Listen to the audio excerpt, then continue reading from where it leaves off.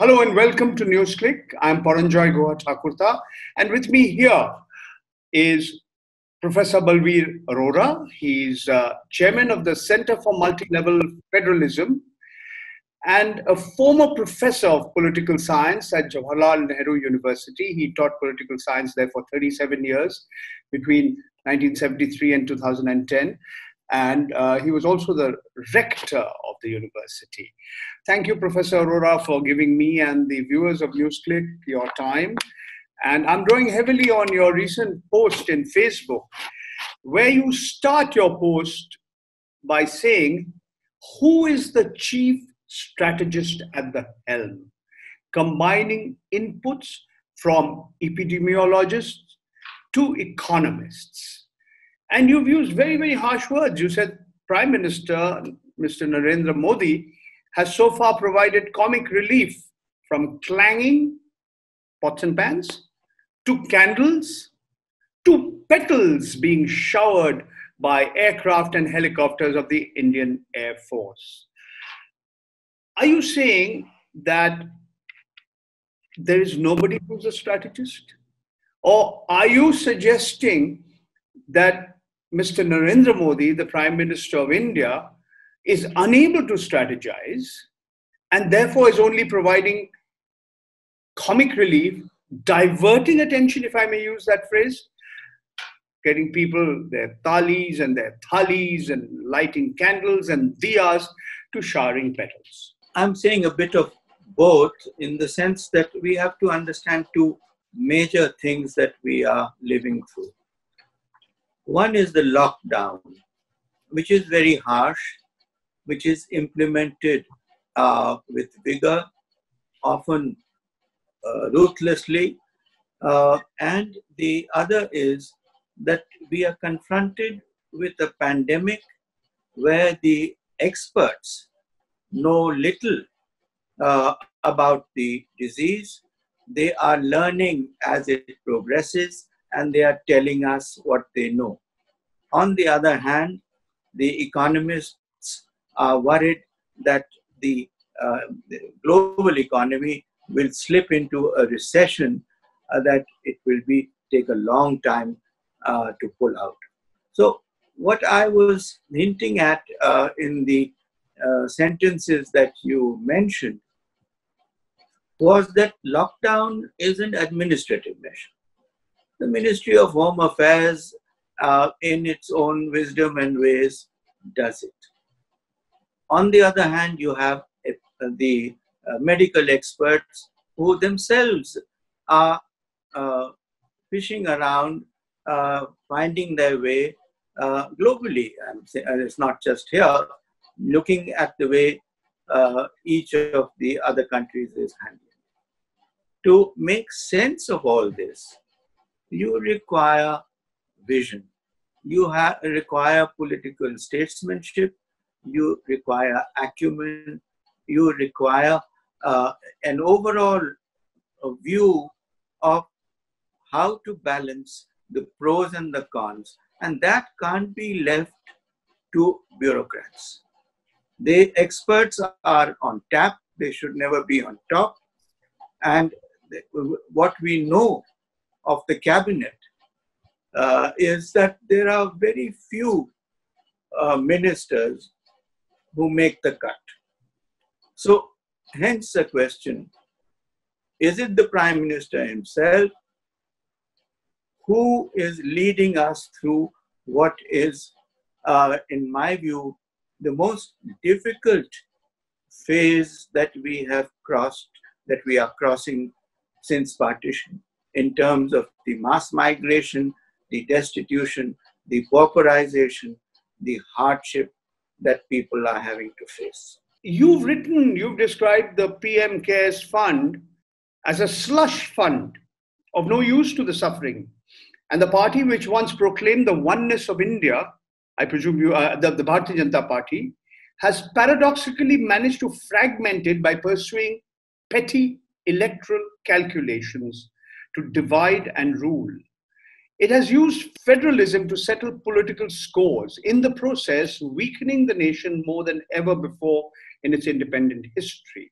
as we head into the worst economic recession we've known in living memory. It is the lack of leadership which is being felt, which is being cruelly felt in New Delhi. A lot of people are arguing that, you know, whether it was announcing the lockdown, at that time, the prime minister himself was right up front.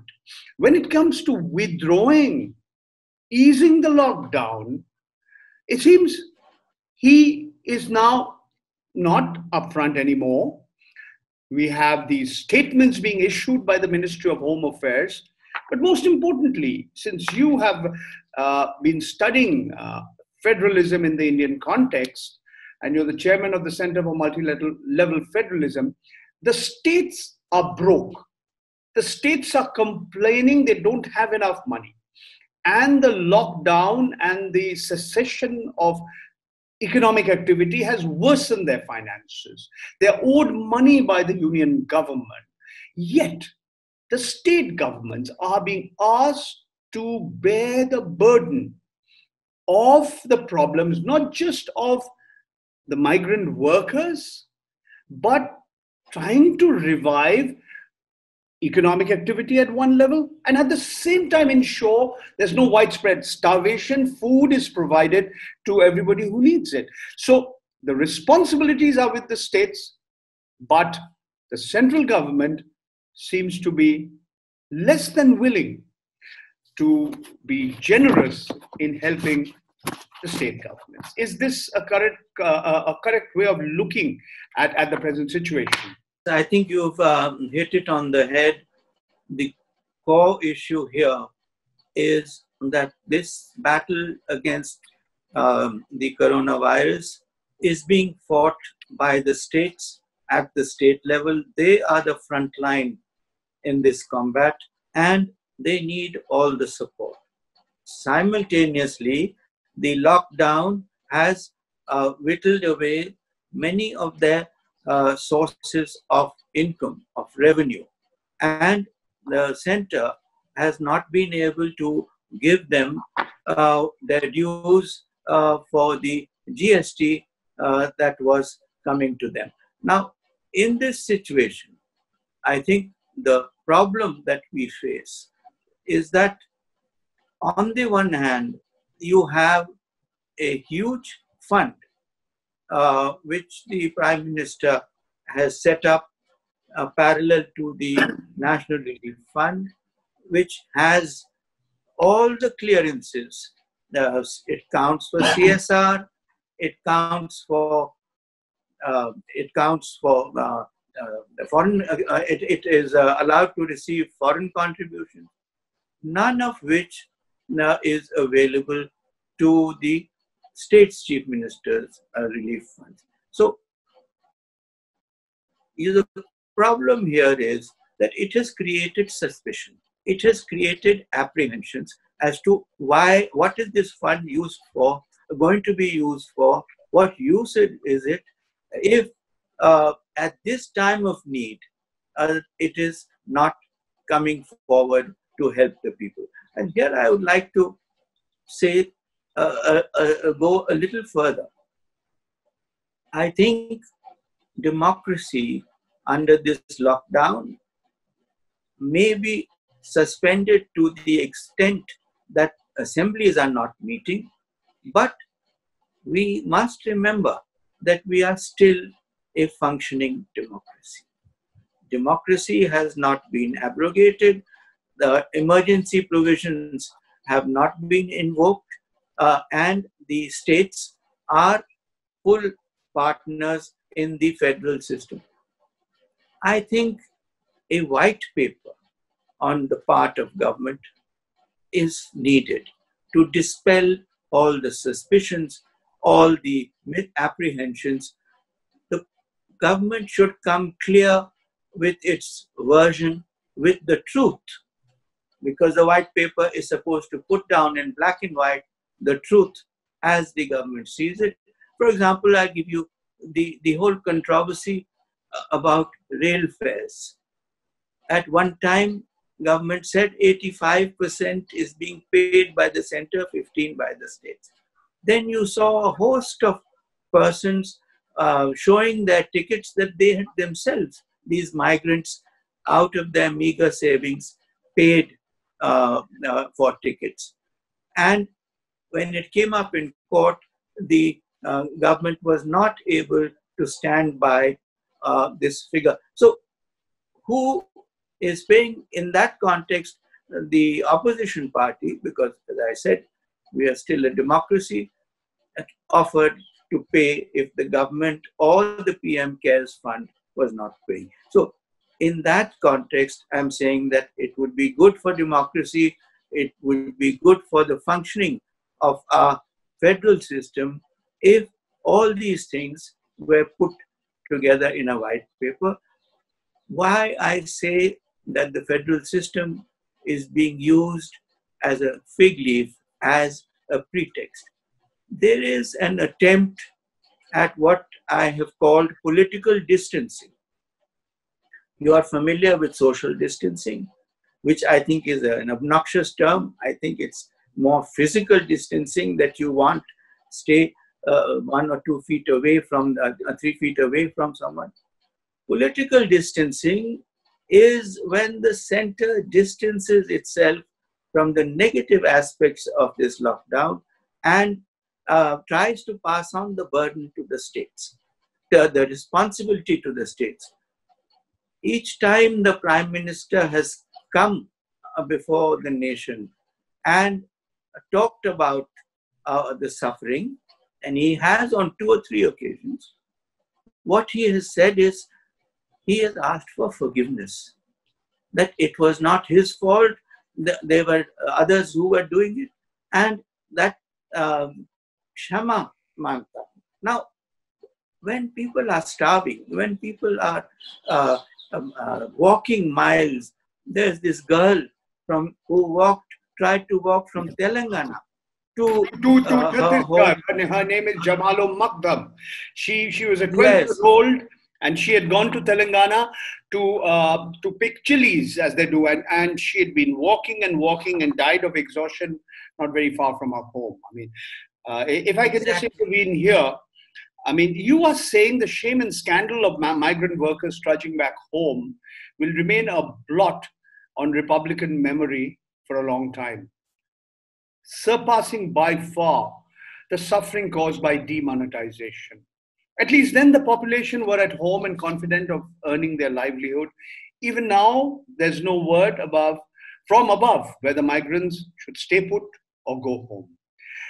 Then you say, uh, then you point out the utter chaos that's happening and how different states have reacted differently. Kerala, Karnataka, you've talked about UP and Bihar and, and the point is that the same government that sacked the, the Delhi government's top officials, uh, the Indian Administrative Service officials, for arranging transport for migrant labor, are now charging them their real fare. So, at a time when we are arguably in a situation where we are today seeing the biggest internal migration, not just in Indian history, surpassing what happened in the middle of the 40s, but perhaps in the history of humankind. This kind of internal migration that we are seeing within India from one state to another is perhaps unparalleled in the history of humankind. And in, to, in response to that, the, the, the response of the government of India in Delhi has been to put it very mildly, inadequate. Some would say their inaction would even be described as criminal. What are your views? I think the sheer scale of it, uh, and I would say muddled thinking and uh, knee jerk reactions. You rightly pointed out that initially uh, they uh, came down with a heavy hand and, and punished um, uh, Delhi government officials for arranging transport so that these workers could go home. Now uh, they are walking on railway tracks. Just this morning, 15 of them died because a goods train ran over them. The, the sheer uh, brutality of this mass movement of people with no help, with sun blazing, with uh, as you, the, the, the poor girl died um, uh, probably of dehydration. I want to say is I made this comparison with demonetization. At that time, uh, the central government used all the means and the agencies at its command to implement demonetization. It used the national highways, the toll booths were accepting the money, the petrol pumps were expect, accepting the money, the railways were accepting the money. It used all the instruments at its disposal. Today, I ask, what are the central instruments that are being used to uh, fight this battle? The states are on their own. Now the railways are being pressed in. The armed forces were brought in, but for what? They should have been building field hospitals. They should have been building confinement centers. They should have been helping the migrants. They could have ferried them in army trucks uh, back to their homes. They could have distributed so, food. They could have provided them cooked food, drinking water, and so on and so forth. Yeah.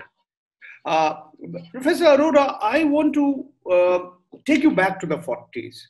And I want to draw a few parallels and uh, I want your views on the parallels that I'm drawing. I'm drawing three sets of parallels. 1943, the Great Bengal Famine. My parents both came from East Bengal. There was food in the godowns, in the granaries. Yes, food had gone to for the the armed the, the allied forces uh, who were fighting the, the second world war but the great bengal famine were estimated I would say 50 lakh people, 5 million people are supposed to have died. That happened in 1943. In 1945, we had Stalin and Roosevelt and Churchill all coming together to defeat Hitler. The Second World War ended. In 1947, we had the partition of India. We had the bloody Hindu Muslim riots that preceded it and even continued after the 15th of August 1947. The parallels. Look at what the tensions between China and, and, the United States. Some would say we are in the middle of a, a third world war, except that the, the complexion, the manner in which it's being fought is very, very different through, through technology, through trade. And, and, and when you look at the, the kind of divide between uh, Hindus and Muslims, many people argue that the divide between Hindus and Muslims today are wider and deeper than they have been since the 40s. So I'd like your views on on on these uh, points that I've uh, on these parallels that I've tried to draw. Yes, I think these are interesting parallels. to take the first one, the Bengal famine.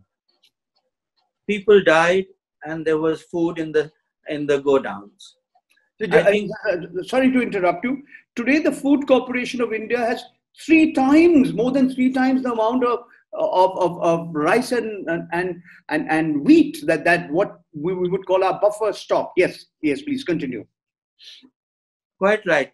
So the food is there. Now look at the situation. As you uh, earlier pointed out, the armed forces could have been used to distribute food. The food is there how is it being, uh, uh, how is it reaching the hungry? NGOs are asked to uh, take uh, from these godowns on payment, mind you. So it's charity. The, uh, uh, you're depending on charity. The state is not fulfilling its primary purpose of seeing that the hungry are fed. they are charged and then they take it and they distribute it. The same NGOs that the government has been, I don't think persecuting is a wrong word. It's a st- too strong a word. The licenses have been withdrawn totally arbitrarily, and now we are back to uh, asking them to uh, step in. The other parallel that you raise, 47. I uh, was a small child born in Lahore when partition took place. Now, I will only compare it because I want to leave aside the communal uh, carnage angle because that raises a whole host of issues. I am only talking about the scale of the migration from one side to the other, from India to Pakistan and from Pakistan to India.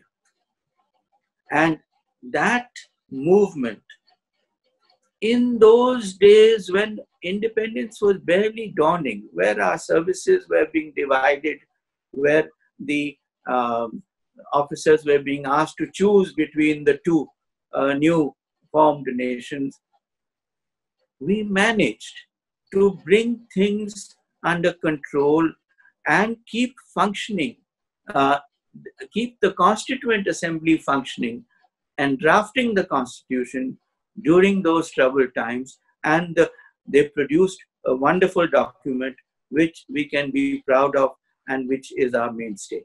The point I'm making is that democracy continued to function and the problem was tackled by the state machinery. Today, the state machinery is only coercing and repressing and is not at all trying to bring succor and relief and help to the uh, populations that need it. So uh, uh, your parallels are interesting and uh, uh, we come out very poorly in comparison with what uh, we have the nation has gone through in those years. What's going to be the political fallout of this the situation that we're currently going through? What what would happen if you could kind of sum up your sum up your thoughts? You've seen the attempt to politically distance. You know, the government of India wants to distance itself, and all the responsibilities are with the states, and they are being, uh, I mean, completely strapped for resources to fulfill their role. And then at the same time, you talk about the state machinery being coercive and repressive and not being able to provide succor and relief to those who need them the most. So, where do we go from here, and what is going to be the likely political fallout. Populations which have been affected, our, our fellow citizens, are likely to remember what their experience has been uh, when the state governments are uh, up for re-election. And if the governments have handled it well they will presumably reward them. Uh, otherwise they will punish whether it will have repercussions at the national level because this whole thing has been uh, masterminded uh, from the center and controlled with uh, special missions, uh, interministerial teams going to the center, to the states. Uh, also, the, the whole idea uh, of micromanaging who shall open what on which day and at what time in this vast country. So, the only example that is cited is that people forgot demonetization and voted the government back to power. It, the elections uh, are still a, a, a, long way off, but I think that was a different situation. This has caused uh, hardship and misery which will continue beyond the disease as the economy tries to pick up. Will these workers go back easily to start the industries that they have abandoned? Uh, will the uh, uh, labor that you need, who have built all your cities, Maharashtra, Gujarat, uh, they uh, are leaving, running away for their lives will they want to go back and work? So I think this will have long term implications, which will be with us for a few years more.